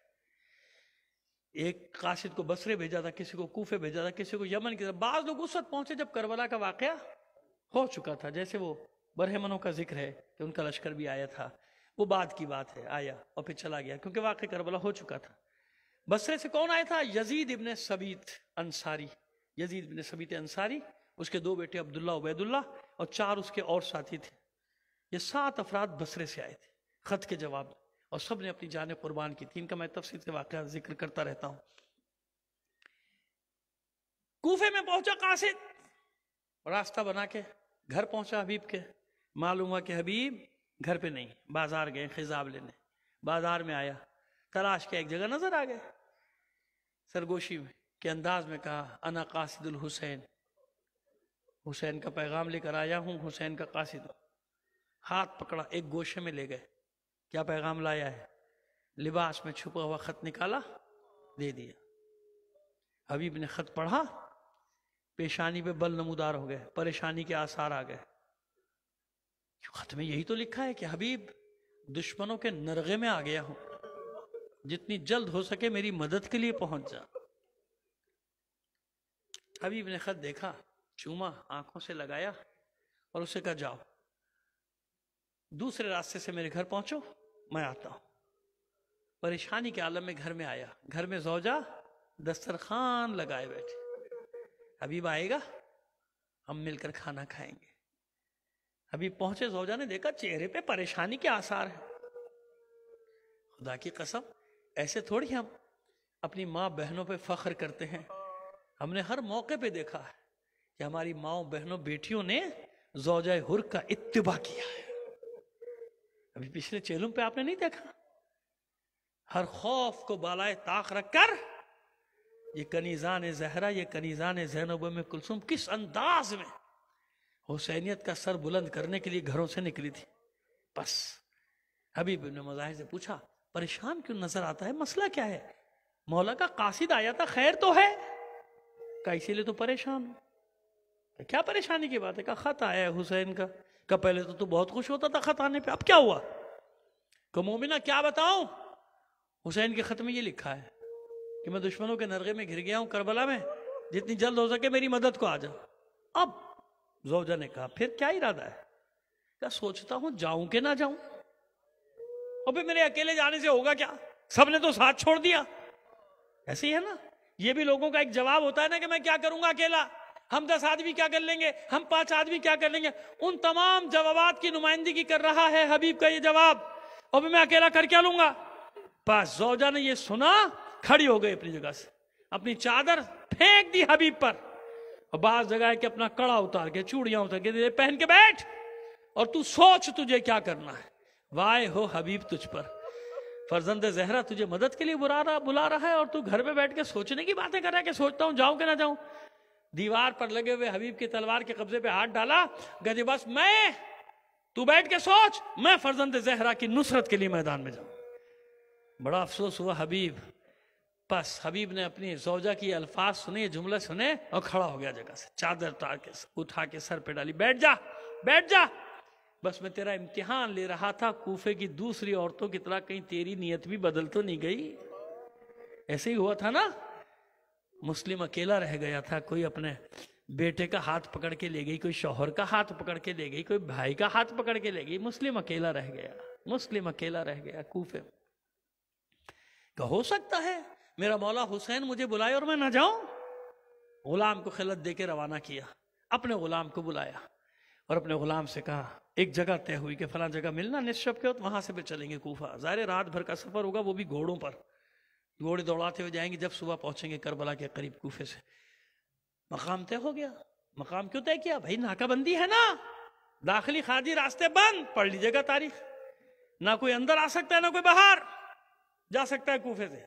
लिहाजा रास्ता बनाने में देर लगी, क्योंकि हबीब को तो सब पहचानते हैं ना, कभी इधर छुप रहा है कभी उधर छुप रहा, उधर छुप पहुँचा, देर हो गई। जब पहुँचा तो क्या देखा? हुर का घोड़ा पैर पटक रहा है। साथ में गुलाम की सवारी है, वो भी बेचैन है। और गुलाम का आलम यह है कि हुर के घोड़े की गर्दन पे हाथ फेर फेर कर कहता है कि बस थोड़ी देर और इंतज़ार करूँगा। अगर मेरा मौला हबीब ना आया तो मैं तुझ पे सवार होकर फर्जंद रसूल की मदद के लिए जाऊँ। हबीब ने आसमान की तरफ़ देखकर कहा, बारी लहा, आले रसूल पे ये कैसा वक्त आ गया? गुलाम आकाओं पे सबकत कर रहे हैं। आगे बढ़कर गले से लगाया, गुलाम को दुआएँ दी कर रास्ता बनाने में देर हो गई। भला हो सकता है हुसैन बुलाए और मैं ना जाऊँ? रवाना हुए। वहाँ फज्र की नमाज़ तमाम हुई, सुबह की नमाज़ तमाम हुई। हुसैन ने खेमों के बाहर मसनद लगा दी। बैठे हैं। चारों तरफ़ अंसार बैठे लेकिन अंसार ने एक बात देखी कि हुसैन की निगाहें कुएँ से आने वाले रास्ते की तरफ़ है। मुस्तकिल उधर देख रहे समझ गए कि किसी का इंतज़ार कर रहा है हमारा मौला हुसैन। अचानक कूफे की जानी से गर्दो गुबार नमूदार हुआ। इधर गर्दो गुबार नमूदार हुआ, हुसैन ने तकबीर बुलंद की अल्लाह अकबर। तमाम अंसार हुसैनी ने जवाब दिया, अल्लाह अकबर। समझ गए, कोई हमारा भी दोस्त आ गया, कोई हमारा चाहने वाला, कोई हमारा मदद करने वाला। अब जब गर्दो गुबार छटा, दो सवार नमूदार हुए, हुसैन ने हुक्म दिया, अब्बास जाओ, अली अकबर जाओ जोहैर जाओ, इब्ने औसदा जाओ। मेरे बचपन का दोस्त हबीब आ रहा जाओ उसका इस्तेकबाल करो, हबीब का नाम सुना, अंसारे हुसैनी दौड़े हबीब की तरफ़। हबीब ने देखा, जब ये लोग करीब आए तो देखा, कमर बनी हाशिम सबसे नुमाया, जल्दी से अपनी सवारी से उतरा। दस्त बस्ता कहता है, ए फर्जंद बूथ आप, मैं इस काबिल नहीं कि अली का बेटा मेरे इस्तेकबाल के लिए आज अब्बास ने आगे बढ़कर सीने से लगाया, मेरे मौला ने तेरे इस्तकबाल के लिए भेजा है, अंसार हुसैनी, अपने जुलू में, अपने हलके में, अपने झुरमुट में लेकर आए खेमा गाह के नज़दीक हुए, दौड़ा हुर, दौड़ के अपना सर हुसैन के कदमों में रख दिया और सर कदमों में रख के बस एक बात पूछी, मौला, मुझे आने में देर तो नहीं हुई? हुर ने यह नहीं पूछा आपके साथ कितना लश्कर है मुकाबले में कितना लश्कर है इससे हुर को कोई गर, हबीब को कोई गरज नहीं पस। हबीब ने इतना सवाल किया मौला मुझे देर तो नहीं हुई। हुसैन ने सर उठा के सीने से लगाया बो से दिए सर के कहा हबीब नहीं बिल्कुल सही वक्त पर आ गया तू मुनासिब वक्त है यही वक्त था तेरे आने का। अमाम अंसारे हुसैनी गले मिल रहे हैं हाथ मिला रहे हैं मरहबा के नारे बुलंद हैं अचानक फिजा पहुँची सलाम किया कहा हबीब तुझे मुबारक हो।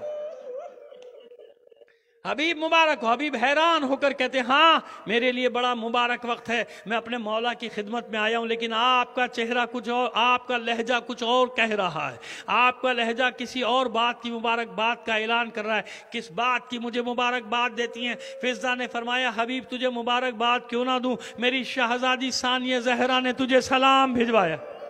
तुझे पैगाम भिजवाया कि मेरा भाई हबीब आया है। जाओ मेरे भाई हबीब को मेरा सलाम कहो और शुक्रिया अदा करो कि ऐसे वक्त में वो हमारी मदद के लिए आया। बस इतना सुनना था, हबीब ने अम्मामा फेंक दिया।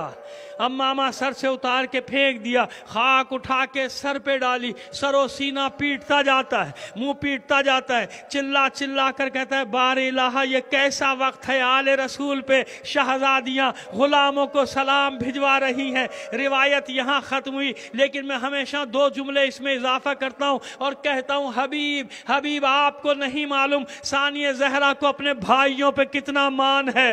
अभी तक सानिय जहरा मुतमिन है कि जिसके इतने भाई हों? किसकी मजाल है? उसके सर से चादर छीनेगा। किसकी मजाल है? उसके बाजुओं में रसन बांधेगा। किसकी मजाल है? उसे कशा कशा कैदी बनाकर बाजारों में फिराएगा। लेकिन अय हबीब, असर आशूर के बाद यही जैनब अपने एक एक भाई को आवाज़ देती रही। मेरा यकीन है, मुझे यकीन है कि शोहदा के कटे हुए लाशें तड़पते होंगे। आवाज़ें आती होंगी, आले रसूल क्या करे? मौत ने मजबूर कर दिया। फिर ज़िंदगी दिलवा दीजिए। फिर आप पर इसी तरह अपनी जान कुर्बान कर देंगे। अलामीन वसयालमजीना मातम हुसैन।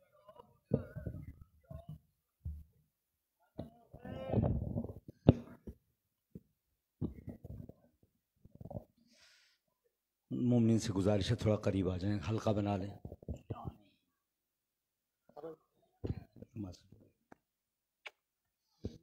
इंशाल्लाह। या हुसैन या हुसैन या हुसैन, या ऊपर थोड़ा करीब आ जाए। तामिल हुक्म में कलाम पेश करूँगा। हुसैन, या हुसैन या हुसैन जजाकल्ला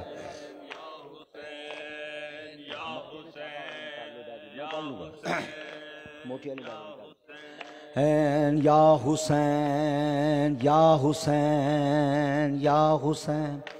आलम हमा तनफुगान शहनस्त। आलम हमा तनफुगान शहनस्त।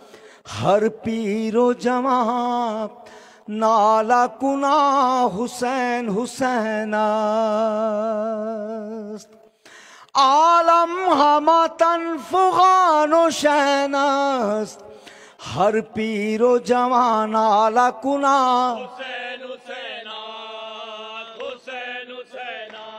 करते हैं बुका दोनों जहाँ हाय हुसैना है जिल्लो मलक नो हकुना हाय हुसैना हर पीरो जवान आला कुना।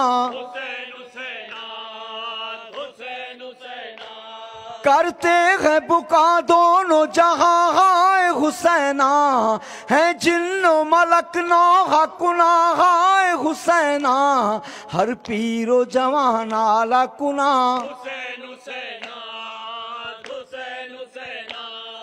हाय हुसैना हाय हुसैना हाय हुसैना हाय। हुसैना हाय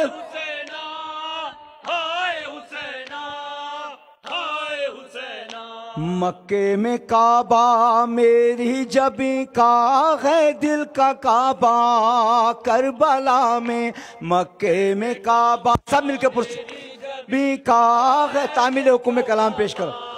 करबला में मक्के में काबा मेरी जबी का है दिल का काबा। करबला में है आबे जमजम के पीने वालों है पीने वालों कोई है प्यासा। करबला में मके में काबा, मेरी जबी का है दिल का काबा। करबला में मके में काबा में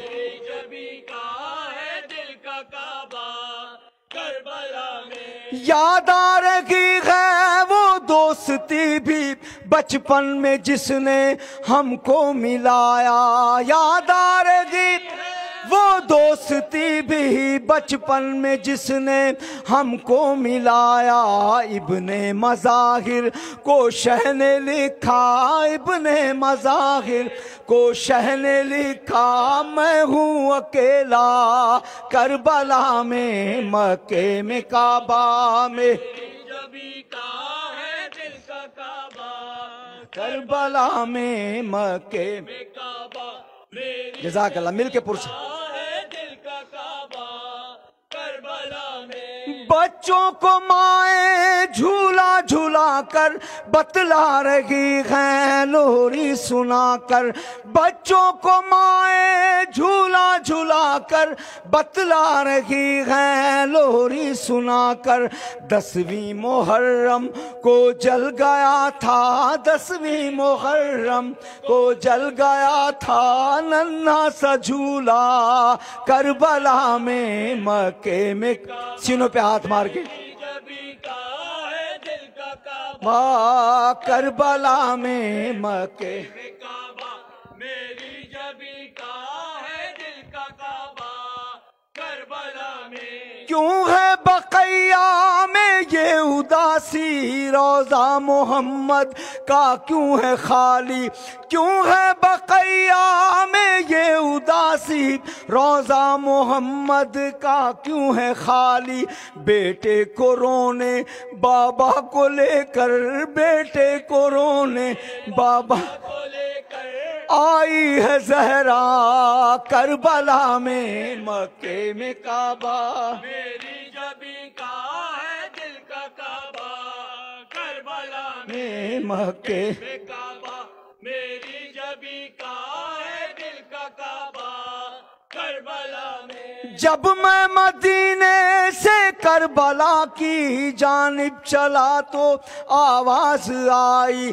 जब मैं मदीने से करबला की जानब चला तो आवाज़ आई।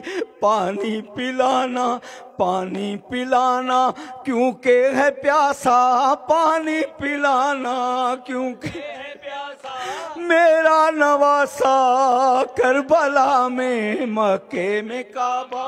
मेरी जबी का है दिल का काबा करबला में मक्के में काबा में। मेरी जबी का है दिल का काबा। करबला में। मक्के में काबा। मेरी जबी का है दिल का काबा। शायद यहाँ हो, शायद वहाँ हो। आऊँ किधर मैं, बाबा कहाँ हो? शायद यहाँ हो, शायद वहाँ हो। आऊँ किधर मैं, बाबा कहाँ हो? पूछो खुदा से, कितना चली है? पूछो खुदा से। है बाली सकीना करबला में मक्के। में काबा मेरी जबी का है दिल का काबा। करबला में मक्के में काबा मेरी जबी का है बेगुरमती क्यों करते हो मेरी आयत? तो पढ़ते ततहीर की तुम। बेगुरमती क्यों करते हो मेरी आयत? तो पढ़ते ततहीर की तुम। रोया मुसलमान की गैरतों पर, रोया मुसलमान की गैरतों पर जैनब का पर्दा करबला में मक्के में काबा, मेरी जबी का है दिल का काबा। करबला में मक्के में काबा, मेरी जबी का है दिल का काबा। करबला में एक एक आयत ने सिस्कियाँ ली, एक एक सूरत भरती थी आहें एक एक आयत ने सिस्कियाँ ली, एक एक सूरत भरती थी आहें जब बर्छियों पर, जब बर्छियों पर कुछ हाफिजों ने, जब बर्छियों पर कुछ कुरान उठाया करबला में, मक्के में, काबा मेरी जबी का है दिल का काबा, करबला में में मक्के में, काबा मेरी जबी है दिल का करबला में आबे जमजम के पीने वालों है के पीने वालों कोई है प्यासा, करबला में, मक्के में काबा। मेरी जबी है दिल का काबा, करबला में, मक्के में काबा। मेरी जबी का है दिल का काबा। मारा गया ये किसका मोहम्मद? इसका कलेजा छेदा गया क्यों? मारा गया ये किसका मोहम्मद? इसका कलेजा छेदा गया क्यों? बोले मुसलमान, अपने नबी को बोले मुसलमान। अपने नबी को हम ही ने मारा करबला में मक्के में। काबा मेरी जबी का है दिल का काबा करबला में। में काबा मेरी जबी का है अम्मार इस गम ने खून रुलाया जो मुस्तफ़ा के कांधों पे बैठा। अम्मार इस गम ने खून रुलाया जो मुस्तफ़ा के कांधों पे बैठा। उम्मत ने उसके लाशे को गाए, उम्मत ने उसके लाशे को गाए, घोड़ों से रौंधा करबला में मक्के में काबा में मेरी जबी का है दिल का काबा करबला में में मक्के में काबा में मेरी जबी का है दिल का काबा अल्लाहुम्मा सल्ली अला